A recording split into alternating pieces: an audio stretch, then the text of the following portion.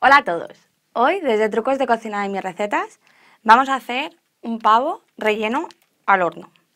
Como un pavo de 2 kilos es difícil encontrar, nuestro carnicero nos ha preparado la pechuga del pavo y nos la ha abierto para que luego, al cerrarla, se nos quede tal cual un pavo pequeñito. Y aparte nos ha dado la piel para que luego podamos recubrir la parte abierta y se nos quede totalmente cerrado. Podemos aún reforzar el cierre con una malla, pero eso como más os guste.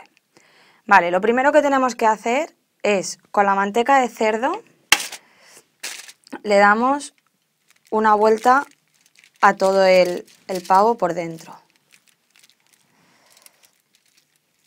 Cuando tenemos la manteca, yo se la he pedido al carnicero, eso va al gusto de cada uno. Los super también la podemos encontrar o si preferís mantequilla directamente o aceite, pero el efecto no es el mismo, no queda igual de jugoso. Y cuando lo tenemos puesto, pasamos a rellenar el pavo. ¿Cómo lo rellenamos? A nosotros nos ha cortado ya el carnicero también el jamón ibérico a taquitos. Lo ponemos. Luego ponemos el lomo ibérico a tacos. Es lomo de cerdo, ¿vale? Hay en algunos lugares que, que, este, que este pavo lo que se hace es un sofrito antes con el lomo, el jamón, la manzana, la manteca y así queda otro sabor. Pero en España el jamón ibérico y el lomo se toma de todas las maneras. Y cuando tenemos la manzana, que la podemos poner así a láminas pequeñas o también podemos hacerla directamente a láminas alargadas del tamaño de la manzana. Tenemos las pasas. Las pasas eh, o las, si son naturales, las tenemos que dejar a remojo unas 24 horas, si no, no estarán blandas. Y cuando tenemos las pasas, el fruto seco. Si lo vamos a hacer en Navidad, el fruto seco de la época es la castaña. Así conseguimos un auténtico sabor navideño. Le ponemos sal. No hay que pasarse con la sal en el interior porque ahora cuando lo cerremos le vamos a poner más manteca, más pimienta, unas hierbas y la sal, ¿vale? Entonces, como nos lo han preparado así, lo que hacemos es lo cerramos. Y cuando lo tenemos cerrado,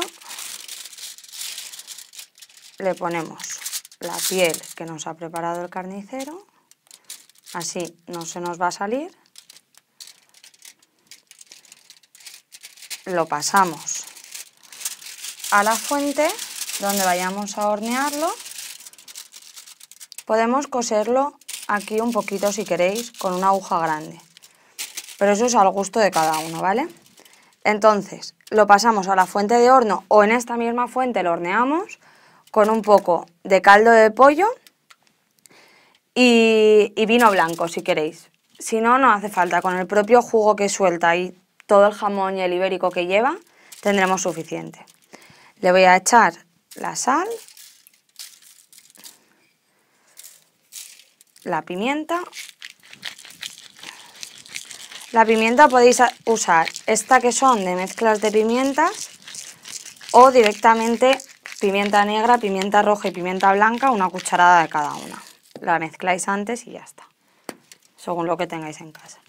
Y unas hierbas. También se le puede añadir una rama de cualquier hierba que complemente a las carnes, ¿vale?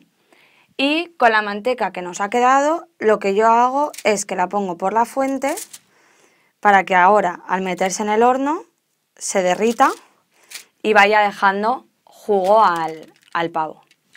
Y nada, lo metemos una hora al horno, 180 grados, y a la media hora, como esta piel se habrá pegado a la otra piel del pavo, le damos la vuelta y así se queda dorado por los dos sitios y ya tendríamos el pavo para una cena o comida de Navidad. Aquí estamos de vuelta con nuestro pavo relleno asado perfecto para Navidad. Como veis, yo hoy he probado y no lo he atado ni lo he cosido, para que vieseis el resultado de la piel y vieseis cómo quedaba el relleno. La manzana queda totalmente blandita y jugosa y las pasas han soltado el, dulzor propio. Total, que se ha quedado una salsa entre el caldo de, carne que habíamos echado y, lo que es el propio jugo de la carne, deliciosa. Como veis, la, la piel queda crujiente y en tan solo una hora hemos podido tener un pollo, un pavo, totalmente hecho y con un sabor muy especial y un relleno que de verdad merece la pena. Esta es una receta para sorprender estas navidades.